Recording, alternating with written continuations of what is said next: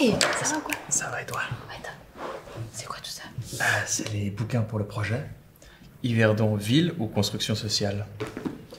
Les Lego menacent-ils la démocratie? 1200 usages du granit. Mais c'est hyper spécifique. Bah, Comment t'as trouvé ça?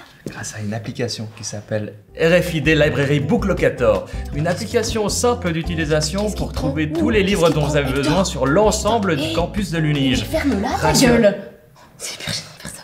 T'es malade ou quoi On est à la biblio. Ouais, c'est vrai. T'as dit qu'elle s'appelait comment l'application RFID Library Public. Tu sais que je suis à la base de la conception de cette application Non, c'est toi qui es derrière. Bah oui, alors je suis pas toute seule. On a fait ça l'année dernière pendant le hackathon. Le hack à quoi? Le hackathon. Le hack à quoi? Le hackathon. Le tonk à quoi? La caca. La caca La caca. Le hackathon quoi. Euh, Du coup, c'est quoi? Bah si tu veux, c'est un événement qui a lieu sur deux jours au mois de novembre. Où en gros tu peux résoudre une problématique au sein de l'université. T'arrives le premier matin, t'as une idée, tu travailles en groupe, tu ressors le deuxième jour, t'as un projet. Tu viens? Ah non. Pourquoi? J'y connais rien en informatique, je vais jamais pouvoir suivre. Non mais attends, t'as pas besoin de connaître ça, l'informatique, hein. T'as pas besoin d'être une craque comme moi. Quoi? C'est vrai que t'es une craque. Moi je suis une Un craque. peu une craquette. Ah, c'est rigolo ça. Ah non, mais je suis désolé. Je...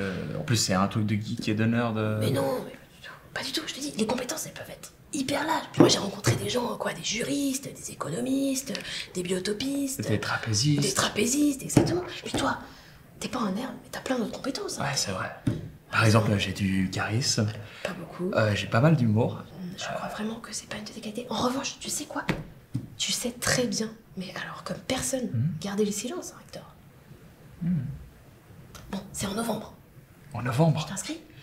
Bah, je peux pas. En ce moment, je suis sous l'eau, tu sais, c'est la rentrée. Il y a plein de trucs qu'il faut organiser. Les cours, je bosse à la crêperie.